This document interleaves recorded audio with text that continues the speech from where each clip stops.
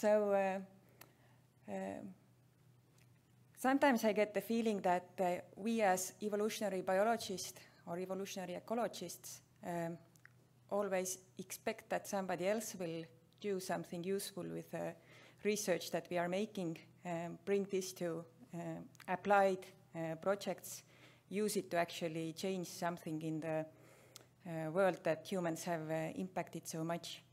But but, but I feel that maybe they do, these people exist, but maybe there are too few of them, and maybe they need our help as well, because uh, I, uh, I studied, uh, I started uh, studying urban ecology already more than 10 years ago, and, uh, and I felt that all this knowledge, what needs to be done in the cities, is already there, but uh, it, it doesn't reach actual practical city planning as as much as we would uh, like to. It's slowly changing now, but uh, maybe we can help along. So in this talk, I will focus on uh, two of my, of my major projects that I'm leading right now uh, at the University of Tartu.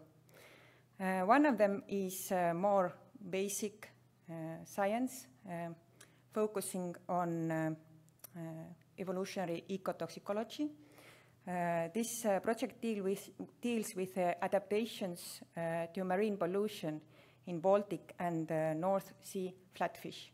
And Baltic and North Seas are actually the seas that are sometimes called urban seas because they are surrounded by urban or by cities and urban landscapes, and they are heavily impacted by what is actually happening in the cities.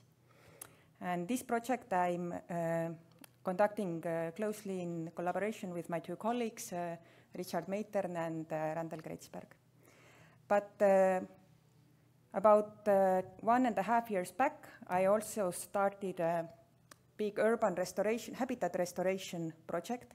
Maybe if there are any Europeans here, you would know the LIFE program, which is half funded by the European Commission, but half funded by the local governments or, um, uh, or cities.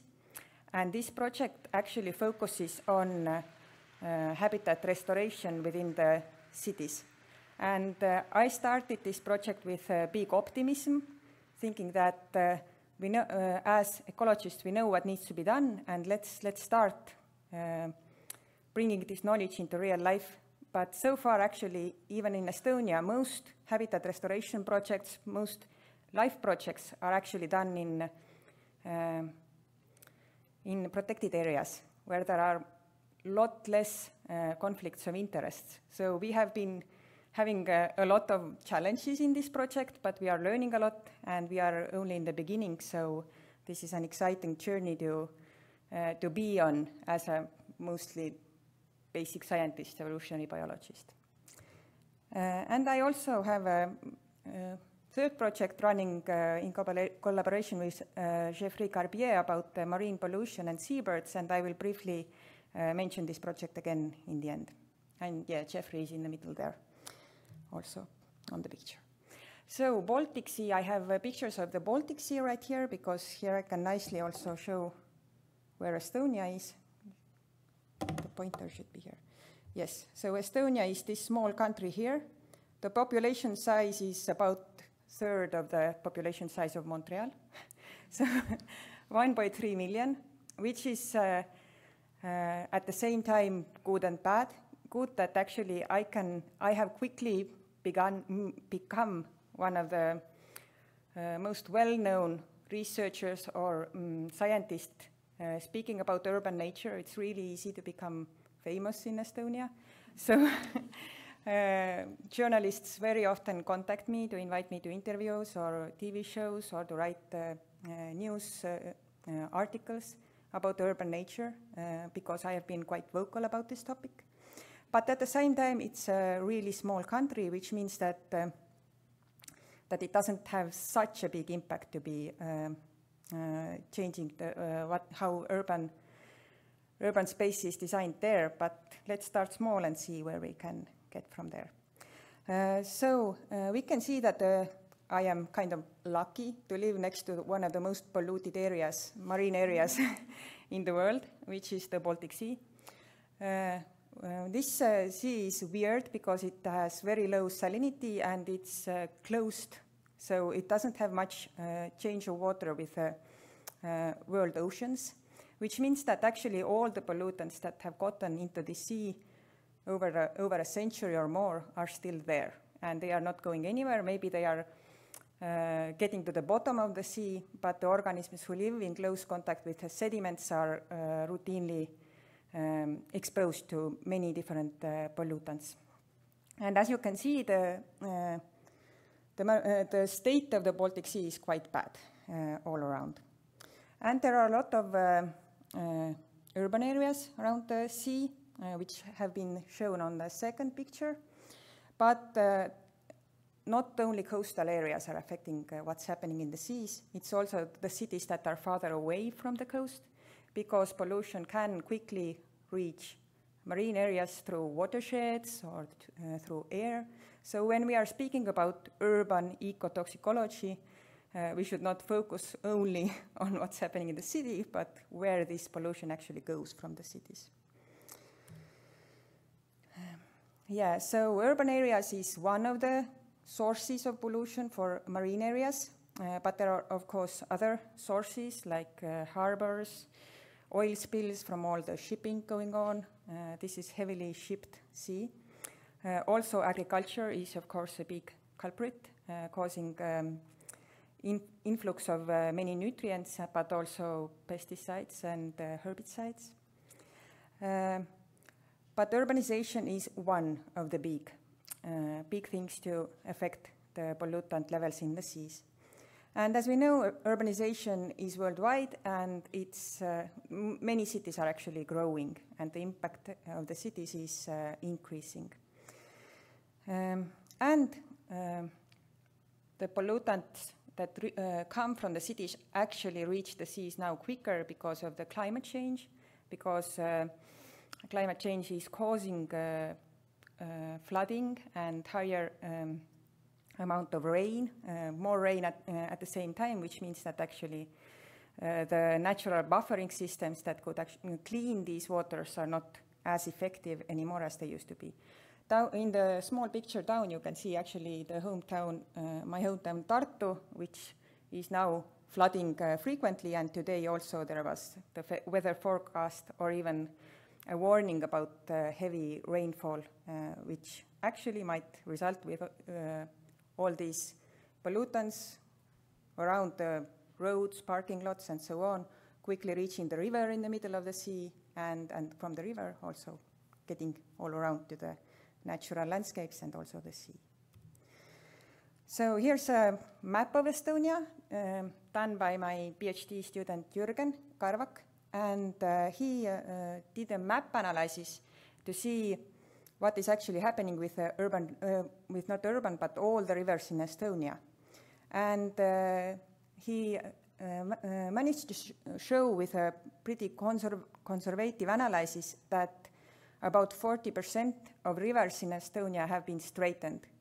Uh, straightening of the rivers is done in Estonia, but also in other places to um, to um, turn the land into more arable agricultural land or to plant forests. A lot of Estonia would naturally be wetlands and marshes, but it has been, uh, it's called in Estonian, it's called land improvement, uh, turning, turning uh, wetlands into uh, agricultural lands and forests.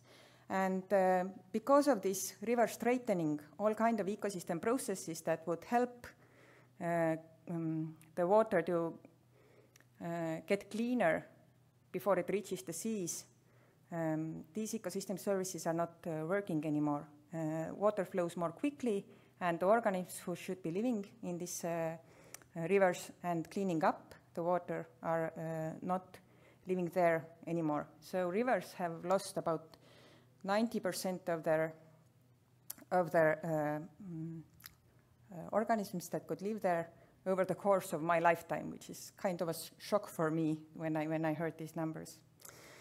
Um, so this is kind of the picture that I'm, I'm trying to get farther and farther away from the small studies that we are usually doing in evolutionary ecotoxicology and look at the big picture. Uh, so what does the pollutant, what do the pollutants do when they reach the seas? Uh, one of the uh, one of the effect, effects that has been studied a lot in Baltic Sea, but also North Sea fish, is uh, uh, the pollutant uh, cancer caused by pollution. and cancer, Uh, especially liver cancer, is uh, often used as kind of a biomarker of uh, pollutant uh, levels in, in the seas.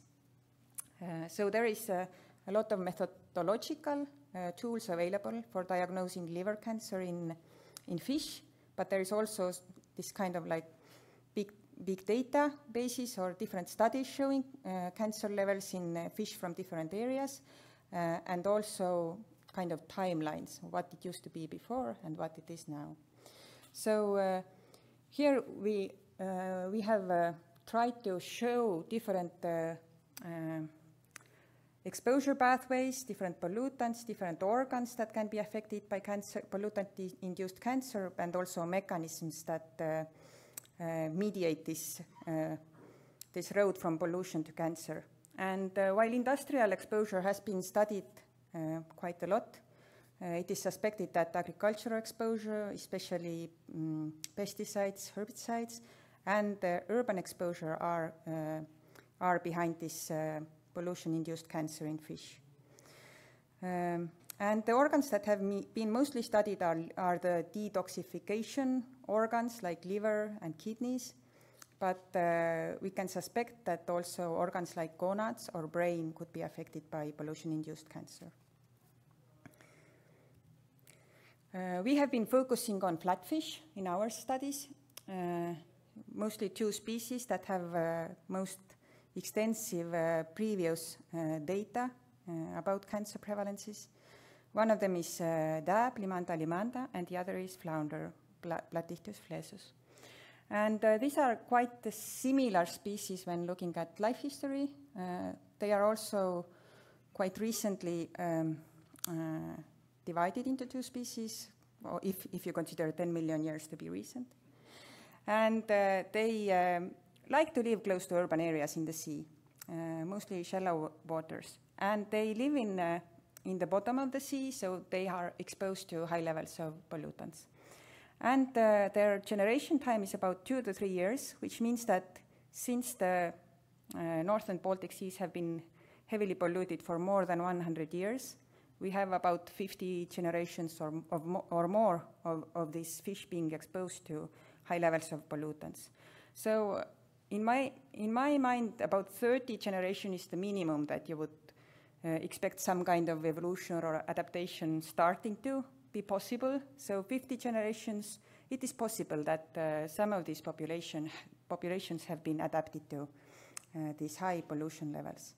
And I started to study flatfish with uh, idea that maybe we, I could, I could uh, find some uh, cancer defense mechanisms in uh, polluted uh, uh, areas, in fish living in polluted areas.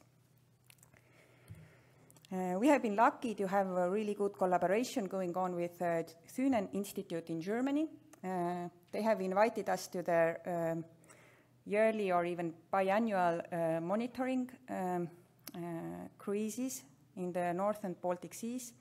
And since they are catching these fish anyway to assess the population or, or the fish communities, uh, we are not causing any extra mortality when collecting fish for our studies. Here I am in the, uh, inside the ship in, in our little lab taking some liver uh, biopsies and uh, also my colleague uh, Randel Kreitsberg with a big piece of plastic uh, litter found, found from the sea. Um, so this is one of the studies that uh, we have uh, published with uh, German uh, uh, team's help. Uh, this is mostly done by my previous PhD student Chiara Baines Arundel, who is now a postdoc in Leeds University. And what we found, and what has also been found in other studies, is that these two closely related species actually have pretty big difference in cancer prevalence. So one species, the dab, has about 10% cancer prevalence in polluted areas, while the other species, the flounder, has less than 1%. Uh, so it's a 10 times difference. And also, this is what uh, Chiara found uh, in uh, her sample. The dark blue is the uh, is dab, and light blue is flounder. So here in this sample also, dabs had a higher early signs of cancer. This is the foci of cellular alteration, but also cancer. Uh, what what uh, she also showed that uh, interesting, interestingly, when there are no uh, significant differences between the average levels of uh, pollutants, which are here uh, principal component analysis of hydrocarbons and heavy metals, there are no differences between averages. It seems that um, dabs actually are the points that are all over the place, while flounders are here in the middle.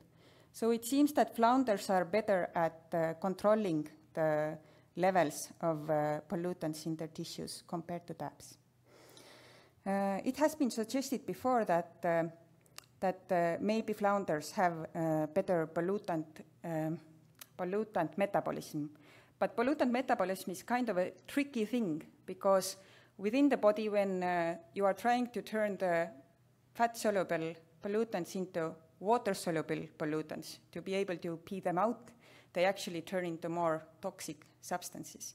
So this is kind of an evolutionary trap because it was useful to uh, apply this kind of system when the pollutant levels in the seas were very low, and there have always been a, a small level of pollutants in the seas resulting from, for example, volcanic activity. Uh, but now, when the levels are so much higher than they have been in the evolutionary history of these species, this system is kind of like an evolutionary trap uh, that uh, the species that have a more efficient pollutant metabolism might actually be more vulnerable to pollutants because they uh, produce more of these uh, uh, oncogenic intermediate substances, which could actually act as a bottleneck for selecting out the individuals that can protect themselves better against this pollution-induced cancer. And this is a very speculative idea, but uh, this is one possibility that we have looked at.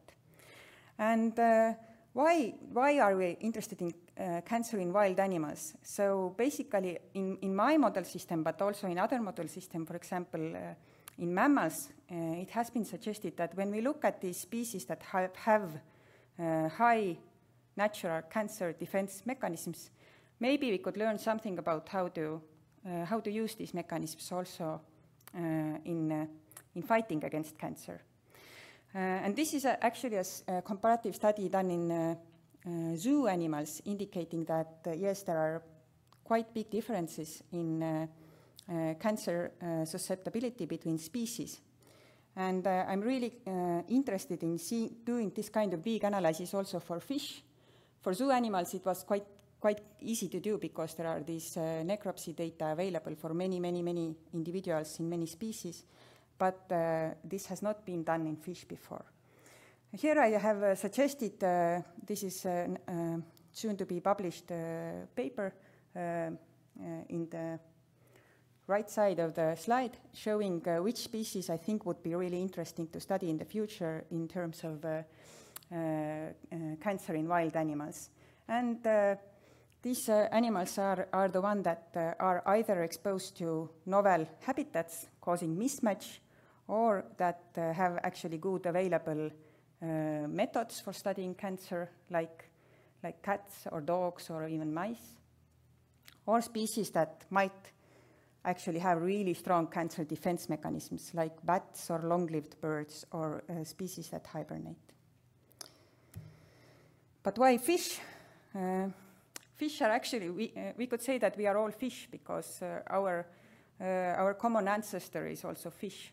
So uh, when we look at the tumor genes, genes that are um, linked to either tumor suppression or are oncogenes, we can see that these genes are uh, much older than our common, last common ancestor with fish, which means that uh, most of the cancer genes are, are quite similar in uh, fish and mammals. So we could actually learn a lot about cancer genes and cancer defense mechanisms when we look at fish.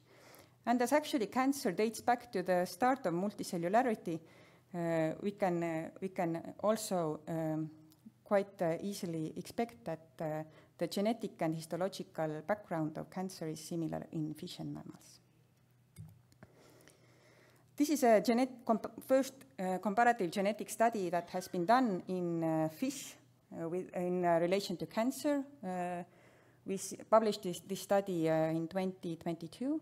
And in this study, we used published fish genomes. And at this, that point, there were about 60 available full genomes for fish. Now there are more, and more will come.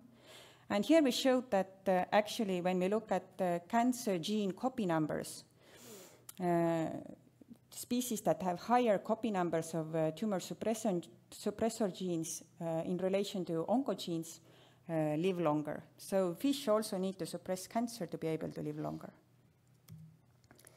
And this is another uh, picture from the uh, flounder dab comparison uh, showing that based on gene expression study, when we compare flounders and dabs with and without cancer, we can see that for cancer to develop in flounders, in this upper graph, many, of, many different uh, gene, uh, genes need to be suppressed, while in uh, DAB, we, cannot, we can only see one type of gene family being suppressed. And uh, the higher expression of genes in cancerous animals is kind of what you expect, but this is interesting to me. What genes are suppressed uh, for cancer to develop in flounders, where we expect that natural selection has happened to protect them against this uh, oncogenic uh, pollution. So where do I want to go next with this? Um, I would like to co uh, collect as much comparable cancer prevalence data from different fish species as I can. And I have already tried to submit one project uh, application with this to European Research Commission this year. It was not funded because it is probably not groundbreaking enough to collect comparable baseline data. But if any of you know, like good, maybe even a consortium project uh, uh, funding source where to apply with this kind of uh, study, and even if you can bring in more uh, species of uh, fish than I have here, I have 40, then this would be amazing. So I'm also advertising a, a talk by Richard Meitern uh, because Richard has shown in an analysis that actually uh, cancer or pollutant uh, vulnerability differs uh, very much between species, and it's really hard to explain why, why, this, is, why this is happening. But now I will spend the last few minutes of, of, this talk speaking about this urban habitat restoration project that uh, we have started in the city of Tartu. So our aim is to uh, restore uh, natural habitats, both urban green areas and urban blue areas, uh, and not only do practical habitat re restoration, but also help um, to develop services and uh, products that are uh, ecologically um, sound and uh, that should be available for people to be able to, for example, plant na uh, native species or uh, not use lawnmowers, use instead scythes or even sheep to maintain their green areas. ways should should be available for people who want to uh, do this uh, local um, uh, nature-friendly urban area maintenance. We are also doing a lot of awareness raising, organizing urban nature trails, and, and using people of the city to help with monitoring in this project. Here are some of the examples of what we have been able to do with this first one and a half years. We have uh, restored uh, uh, two urban ponds. We, are, we have switched to um, uh, local species-friendly maintenance regime in several urban green areas, parks. you can see I'm here also using a scythe in a way that my grandfather taught me. And uh, we, uh, here you can see in this picture, I have uh, high school kids planting some forget-me-nots in a pond to be, uh, to use, to be used for, uh, for newts for laying eggs. Uh, and here are university students as volunteers restoring an urban stream area. The main aim of all this is to slow down of uh, the, uh, the process of urban pollutants reaching the marine areas. Uh, I have shown here what have been my main challenges in urban habitat restoration. People are more afraid of ticks and spiders and snakes and bears coming to the city as a result of more natural city uh, green areas, uh, while they should actually be more afraid of air pollution or changes in microbiome or more allergies or heat island effects. And this is something that I think we should uh, be able to change with uh, communication. And uh, here are some of the examples of, what have I have done over the last last year or so. So the first picture shows uh, actually a fantasy book that I wrote to children about urban nature. And in this book, children can actually magically turn into urban animals to see the city through the eyes of different species, bats, fish, bees. And then they will organize a big cities, like big uh, campaign to help grown-ups realize that uh, something needs to be changed. I have found that actually children are much more receptive to, to the ideas of urban nature being something cool and something really cool, really cool, good. Um, yes, here are urban nature tours that I have organized for uh, small kids um, in parks where we have uh, let all the grass grow out and left fallen logs, and these can be used as really exciting playground for kids, and they immediately, immediately see the value in this. Uh, we have also used, uh, used kits for monitoring uh, the um, streams and ponds, even monitoring the chemical status of the pond with some simple tests, but also counting the invertebrates. and then to, I, I promised to get back to my seabird project. Here is a uh, board game that I developed with Geoffrey Garbier about uh, how, sea, how, how hard the seabird life is and how we should actually care more about them. And this is uh, supported by a crowdfunding campaign that has reached now 10,000 euros, which is a big thing for Estonia, being a really small country. And here is a comic strip that I pu published in the Estonian biggest um, uh, children's magazine. Uh, an artist uh, drew the pictures and I wrote the story. And I think this publication might actually be more valuable than all of my big uh, H-index publications. so yes, so we need to slow down the environmental change in, in the cities to allow uh, the evolution of tolerance to anthropogenic environmental change. Uh, potential for defense mechanisms to ev evolve is there, but we, we need much more connectivity, larger populations, and slower pace of, pace of change for evolution to, be, to come to our aid in uh, helping to preserve biodiversity. Uh, we also need to redefine urbanization because when we are speaking about urbanization as a really bad thing, it's really hard to speak about how cities could be a really good places for natural species to live. So maybe instead of urbanization, we could speak about pollution or um, impervious surface cover numbers, and uh, maybe in the future urbanization could be something like as a, even as a refugee for wild species. And yes, communication and awareness raising are the keys, and I encourage everyone to, to work more in these areas as well. And if anybody has any great ideas or experience to share with me, then I'm really uh, open to any kind of ideas change from you all. Thank you.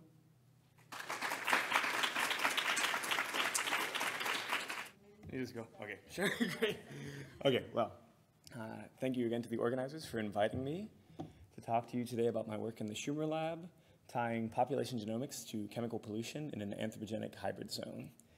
So we just heard a lot about cancer, um, which is a very, um, I guess, relatively well-known impact that we can have on the environment, these sort of uh, um, things that are increasing the risk of cancer. But perhaps something less well known is anthropogenic hybridization.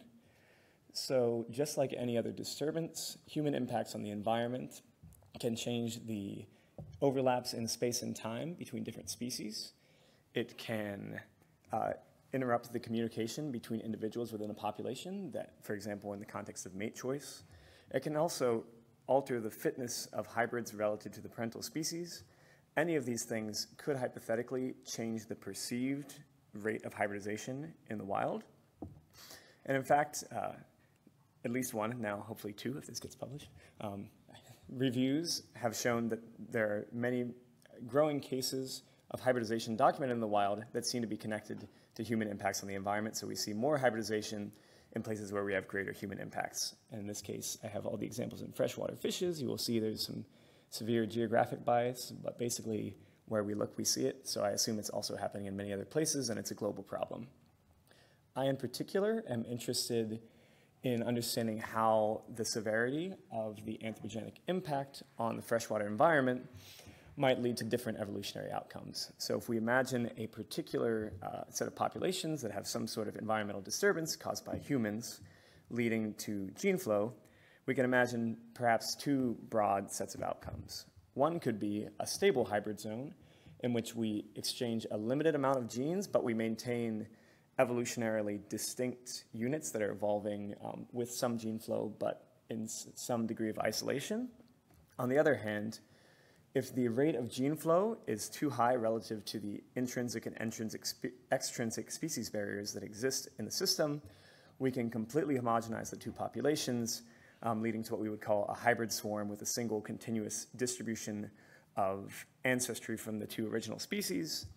These two outcomes have very different implications for both the course of evolution and for conservation and species of conservation concern.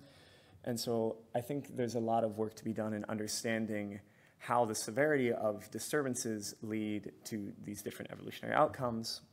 And I've been studying this in these swordtails. They are, oh, there we go, freshwater fishes of the genus Xiphophorus. So you can see on the map there, there's a little square where I've been working, but the genus is found throughout the entire um, eastern uh, Sierra Madre, um, ringing the Gulf of Mexico. I am working on a species pair found in the state of Hidalgo, uh, where I'm studying Xiphophorus malinche, which is found in the highlands. So here we have essentially the highlands to the left, lowlands to the right. And then Xiphophorus birchmanni is its sister species, which exists at lower elevations. And where they overlap at intermediate elevations, we see hybridization in multiple demographically independent river systems, which sets us up to perform a sort of natural experiment in how the evolutionary outcomes of this hybridization differ and how that might rela be related to differences in humans' impact on the different rivers. In particular, I want to draw attention to the town of Calnali, which this is an urban evolutionary ecology um, seminar, and I will say that it's a little bit of a stretch to call Calnali urban. There are 3,000 people there, um, but the entire landscape around it is very pastoral and or primary or secondary forest, so relatively speaking, it is urban. And we see a very interesting pattern here where in the headwaters we have pure Malinche.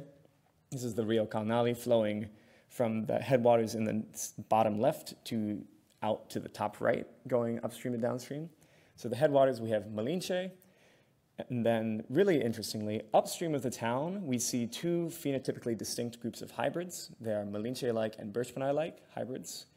Um, but downstream of the town, we see a single uh, phenotypically intermediate swarm of Malinche birchmanni uh, admixed individuals. And so this immediately leads to the hypothesis that there's something affecting the fishes in the water in Calnali that is flowing downstream and causing this hybridization and this uh, collapse of the population structure, as we would call it. And just having been to Calnali several times, there I have plenty of candidates, including multiple places where roads ford rivers, so there's vehicles passing through all the time, lots of um, road runoff, as well as multiple points of untreated sewage entering the water. And so it was the immediate hypothesis was that there was something affecting their mate choice. And in particular, I believe it's compounds affecting pheromone-based mate choice. They use visual and pheromone cues, but we believe that pheromones are more important in distinguishing between species. And we know from prior behavioral ecology and mate choice work in swordtails that these pheromone-based mate preferences can be disrupted by introducing more dissolved organic matter to the water, as well as increasing the pH or even increasing the uh, concentration of calcium ions, so something seemingly innocuous.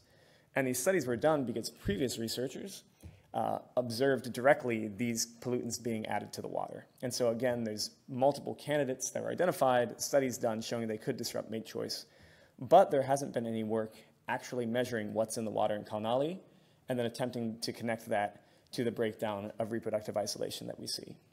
Um, so for this work, I was attempting to do that. First, by surveying population structure um, across multiple rivers to see if we did see differences in the degree of hybridization between rivers. Then connecting that to water quality, paired water quality surveys to look at various chemical parameters that might differ between rivers, and then having identified candidate molecules that correlate well with the collapses in population structure, performing tests of olfactory function using these candidate chemicals and trying to link directly from the chemistry to the differences in reproductive isolation that we see. So to start with the genomics, I um, was working in four different rivers in the Atlapexco drainage. So we have the Huazalingo, the Calnali, the Pochula, and the Concitla. The Calnali is again the one with the town of Calnali where the, the uh, river passes through. The other ones do have rivers at various points along their length, but not in the sort of center of the overlap between Birchmanni and Malinche. So we thought that they, any of them might serve as a sort of control situation. Um, then on each river, I was lucky to have access to a large um, amount of genomic data collected by various prior PhD students um, and also myself um, at fairly fine scale along the river.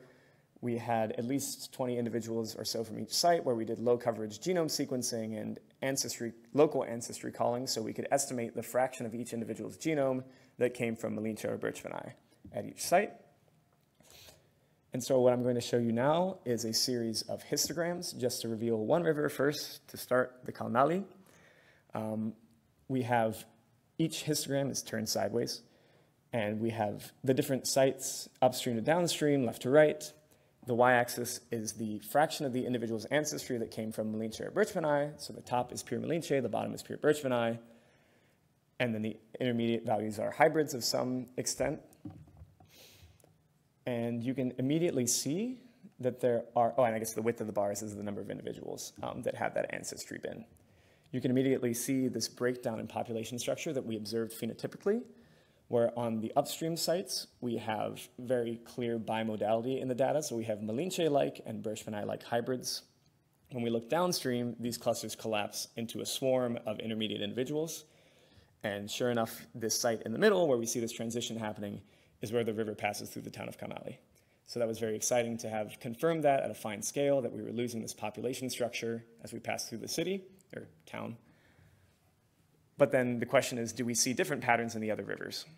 So first to reveal the Huazalingo, um, we do see a different pattern, but not one that felt terribly directly comparable. So we, there's a pretty drastic transition from Malinche-like to Birchmanni-like, with some Malinche-like individuals persisting, presumably being washed downstream.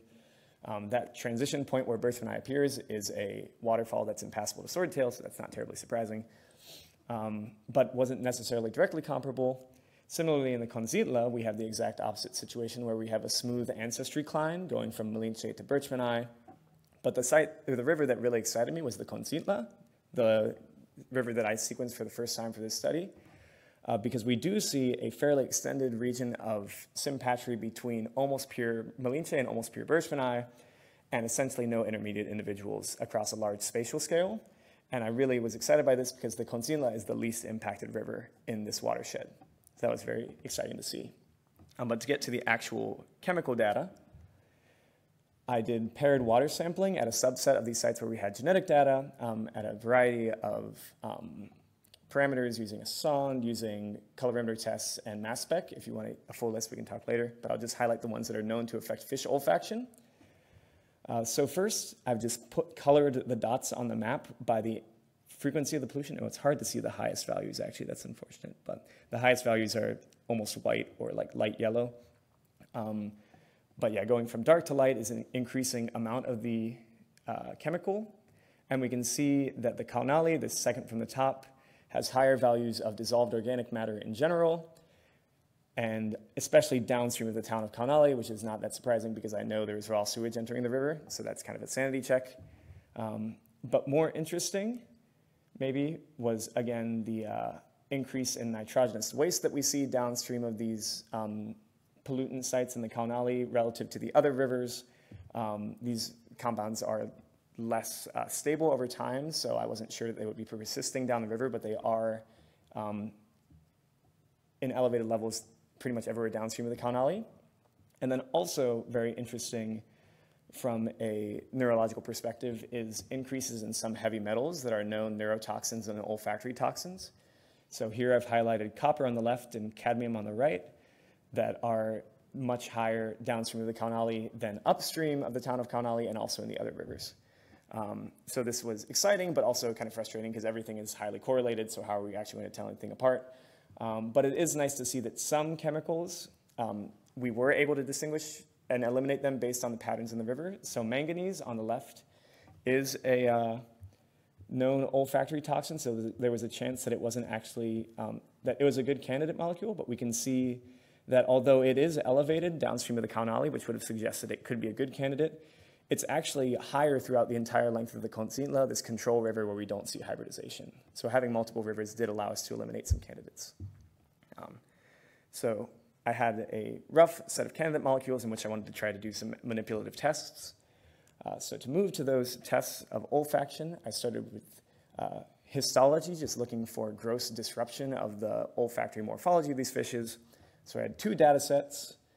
Um, one was a laboratory exposure, so I took Xiphophorus birchmanni and exposed them for 96 hours in the lab to things that the text is too small to see, but it's copper, humic acid, which introduces dissolved organic matter, ammonia, and then the combination. And I also had some wild fishes um, from sites upstream and downstream of the Calnali. In each, I performed, or I a, a core, thankfully, because I can't do histology, um, performed H&E staining to observe cilia loss in the olfactory epithelium, as well as staining for apoptotic cells to look at different rates of programmed cell death. And what I saw, first to start with the wild fish, was that there was a noticeable but not significant um, increase in cilia loss in the fish from polluted sites, and also a significant difference in the rate of apoptotic cells, although it was higher in the clean site. So if anybody has insight on that, please let me know. Um, unfortunately for me and the simplicity of my story, I did not see any significant effects in the laboratory um, treatments, but it's not terribly surprising, and I have plenty of ideas of why that might be, just in terms of the difference between a four-day exposure and an entire lifetime of exposure, um, and also the simplicity of the chemical treatments that were being given. But as the last part of this project, I, am, I have run an olfactory behavioral trial where I picked copper as the most promising compound based on the literature and exposed fish for 96 hours and have, see, is my video going to work? Yes, the fish is swimming around. Um, deciding whether it prefers the side with or without a food cue, alanine being piped in, and ramping up the concentration to see at what value they react. So I have those videos, they just need to be analyzed, and hopefully they will show um, that copper reduces their sensitivity. Um, so to summarize, I saw water quality deteriorating at the point where uh, hybridization begins in the system, while rivers without a lot of ongoing hybridization didn't see this change, and that there are some signs of olfactory differences in the wild, but I still need to collect more data on this. And I'd like to end by thanking especially our major collaborators at the University of Toronto and now at Concordia University of Edmonton highlight some more swordtail talks by Stephanie Aguillon and Dan Powell. Um, Dan, in particular, is very interested in these sort of pheromone-based studies in the future, so people should talk to him. He's starting a lab. So Stephanie, go, go them. Uh, thank the rest of the people in the Schumer Lab and at the CICHAZ field station, the funding sources, and we'll be happy to take any questions. Thank you. Awesome. Um, yeah, I'm just going to get started. Thank you all for being here, and thank you for the introduction and the invitation. Um, my name is Maddie, and I'm at University of California, Davis, and today I'm excited to talk about some of my uh, dissertation work exploring the effects of an urban pollutant on uh, intertidal marine invertebrate. So I know a lot of in this, us in this room uh, share interest in evolution, urban systems, ecotoxicology, maybe you picked the wrong room, um, and we know urban environments can present a unique opportunity to observe rapid evolution in response to novel selective pressures, and I'm just highlighting a couple of examples here. And of course, prior talks have talked about this, where we're seeing evidence of phenotypic, physiological, and genomic variation associated with urban environments across taxa. However, one environment that I think, it's great that we've talked about some freshwater systems, um, but one environment I think is also less focused on is um, marine environments surrounding urban coastal cities.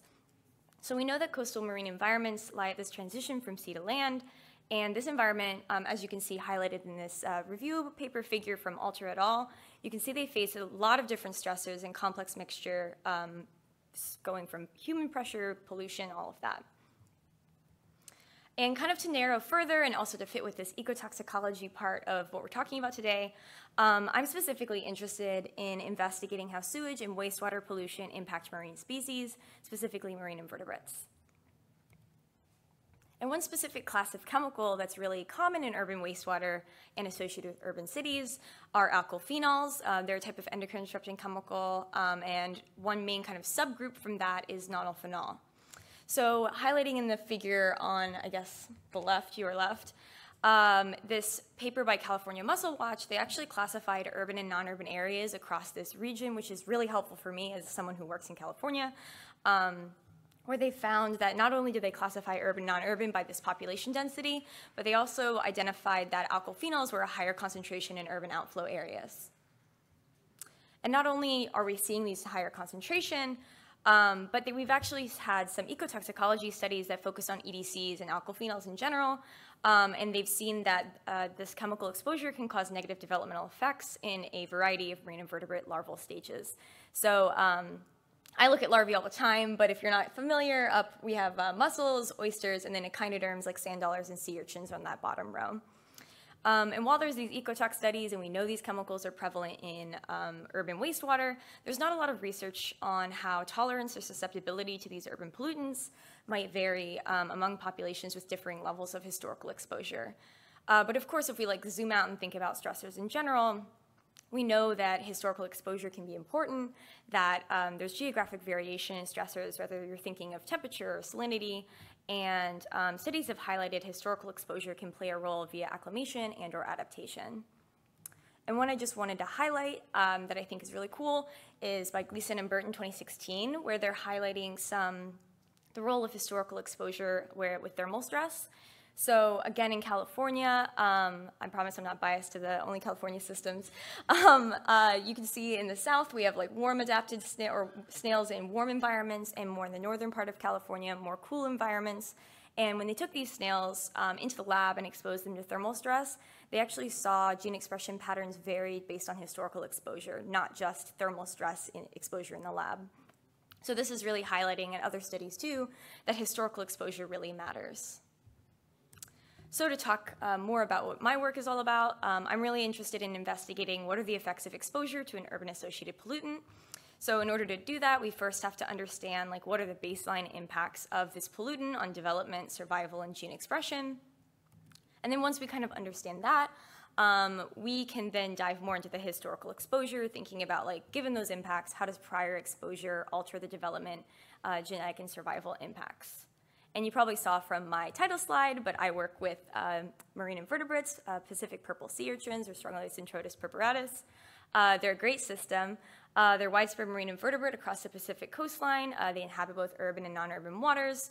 Um, they're broadcast spawners, so they produce a lot of larvae, which can be great for working in the lab. And um, they're also useful developmental and genomic resources available. Um, and finally, there's evidence of some local adaptation despite high gene flow in the system. So to start, um, we first have to understand baseline impacts. So to do this, um, undergraduate, now graduated student in um, my lab, uh, Sindhu Bala and I, uh, spawned, we got 10 urchins from one population and we created kind of four family pairs by um, pairing males and females together. And then we spawned those urchins. They all came from one population.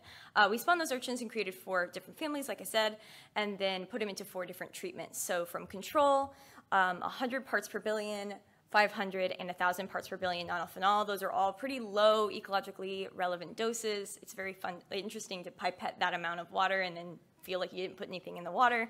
Um, but then as we set those up, uh, we then collected specific stage data at these different developmental stages, where kind of on the left you see fertilization envelope about 15 minutes post-fertilization, all the way through to the pluteus stage, which is seven days post-fertilization, where they start swimming and feeding.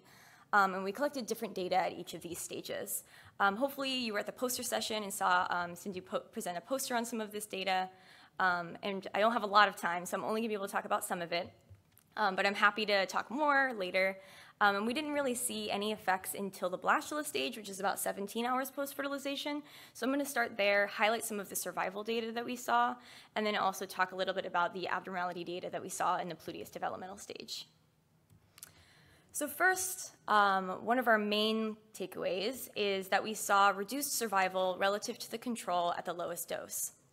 So the graph's a little uh, complicated, but just to orient you all, basically the gray line is showing zero change in survival at the control compared to doses. And if you're above the gray line, it means you had higher survival in treatment. And if you're below the line, it means you had lower survival in treatment. So you can see that as we like go over to the, I wish I had like a pointer, but I'm just gonna motion. Um, if you look at the 100 parts per billion dose, you see that kind of all of the families drop below. So there's lower survival in 100 parts per billion. But then as we move up in dose, we actually start to see a lot of variation between families, which is not something I necessarily expected. Um, and sometimes you can even have higher survival uh, in a treatment relative to control, which is also a little bit strange. Um, but I think the main takeaway that I, am really seeing from this is that we're seeing a drop in survival at 100 parts per billion, which is a very low dose of this chemical. And there's also a lot more like within population variation than you might expect within this uh, system. Another main takeaway uh, that we saw from this study is that there was also higher proportion of abnormalities at the lowest dose. So not only did we see decreased survival, but a lot more abnormal Pluteus larvae. And this graph is set up similarly where everything's relative to the control within that mate pair. Um, and if you're above the gray line, you had more abnormalities. If you're below, you had less. And we see, at least in two families, this pretty big spike um, at 100 parts per billion for a lot of abnormalities, about like 75% proportion abnormal larvae. Um, relative to that count in the beaker. And one mate pair shows a little bit of an increased trend, um, but in general, we're kind of seeing these like spikes in abnormalities, and then the 1,000, uh, the higher dose tends to not have as much impacts. And I meant to say with the, uh, the previous graph, but something really cool about endocrine disrupting chemicals is they can actually have non-monotonic effects, which basically just means you're not having like higher dose, higher effect necessarily, where there might be like a non-linear response uh, to dose. So that's another um, main takeaway that we're kind of seeing from this is that nonylphenol is also having non-monotonic effects for survival and uh, abnormalities. So to summarize this half of the talk, um, the kind of main effects we saw when we were trying to understand the baseline of uh, exposure to an urban-associated pollutant, uh, nonylphenol, we saw no real impacts on fertilization or early development, which is why I didn't show those figures. Uh, but we did see reduced survival at the lowest dose. We saw some higher abnormalities um, at the plutea stage at the lowest dose, and there was just a lot more variation within population than we expected. So taking all of this, um, we really wanted to take all the data that we uh, got from our baseline exposure and then now apply that knowledge to our historical exposure study. So given um, that information, I now want to talk a little bit about that. So the historical exposure study was set up pretty similarly, um, but instead I went and collected 40 urchins from urban and non-urban sites in Southern California. So these are sites that were, as I mentioned earlier, previously classified by Mussel Watch as urban and non-urban, so I had evidence of these. The blue sites are urban sites and the peach sites are the non-urban sites. And we collected all of those urchins, brought them up to the Bodega Marine Lab, which is associated with UC Davis, and um, created uh, mate pairs there. So we created on average 12 um, mate pairs or families per population, and we collected similar developmental data as well. So we got that early stage development all the way through to the seven days post-fertilization swimming stage data. And this was for a total of 96 beakers, so much larger scale, really trying to capture that within population variation as well as that between population variation. And this is actually all ongoing. Um, I just completed all of these experiments this past winter, so my seasons, like my field season's usually in the winter, um, but I'm happy to share some of our survival data that we have so far. So one of our main takeaways is that urban urchin larval survival tends to be less impacted by treatment conditions. So this figure is again um, set up to be relative to control. So that gray line is, it basically means if you're close to that gray line, you had really no difference in survival between uh, control and treatment. And so basically this our orange, which is our urban sites, we're really seeing that the average proportion survival relative to control is about the same between control and treatment. Then if we move over to the non-urban, which is the white box, uh, we're seeing a not only just a drop in survival and treatment, but also it seems that there's more variation. And while neither of these are significant, I still think it's interesting to kind of see this shift um, between urban and non-urban urchins and think about why that may be. Um, I think an explanation for that pattern could be that urban urchins are more adapted or acclimated to urban stressors, so they're more resilient to dealing with something like that in the lab. Um, it could also mean that the reason there's more variation in these non-urban urchins is that um, there's a lack of selection or there's a lot more genetic variation present in these populations because there hasn't been this like strong selective pressure of urban pollution like the urban sites. So to summarize, um, our main findings from uh, trying to ask like what are the effects of exposure to an urban associated pollutant, we did see that there were impacts on larval development and survival, especially at ecologically relevant uh, doses of nonylphenol. And we also saw that urban urchin larval survival is less impacted by nonylphenol exposure, um, which is interesting in the sense of trying to understand how prior exposure could impact um, these uh, different mechanisms in the lab. And all of this work is still ongoing. The dose exposure study is a lot further, but we do have gene expression data paired with that, so I'm really looking forward to having that. Um, and then, as of course, for the urban urchin uh, project, we'll also have a lot more of the developmental data, abnormality data, and gene expression data there as well. So finally, um, I just want to emphasize that I think with our work in marine urban systems, we really hope to better understand how urban pollution affects these evolutionary systems and historical exposure to urban pollutants may alter development, survival, and gene expression. I'm also working on a broader project on um, population genomics with paired uh, cities across the urchin uh, range, so stay tuned for future talks. I heard the gong, so I just wanted to highlight thank you to everyone who helped me with all of this. It's very intense experiments, and I'm happy to, it says I have a minute, I'm happy to take a question or find me at the coffee hour. Thank you.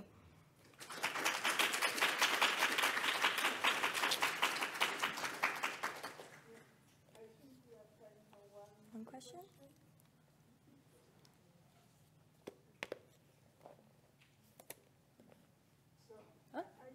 Sure, yeah.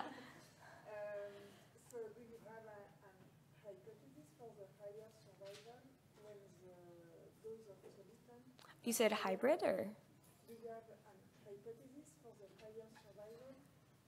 Oh yeah, I so I think I think the reason for that is the way the survival data is collected. So the way we collect it, it's I do I have standardized density within each beaker, and then I do counts on a fixed amount of water um, at the blastula stage, and then also at the pluteus stage, and then I look at the difference between count of density between blastula and pluteus, and I think there's sometimes is some slight variation that might have caused that like spike over. But i think in general like some of the like the one i'm thinking of that one curve that was like way higher i think higher survival in a thousand in general could be that maybe um, yeah i think it's like kind of strange. I don't think that this chemical is like helpful to them.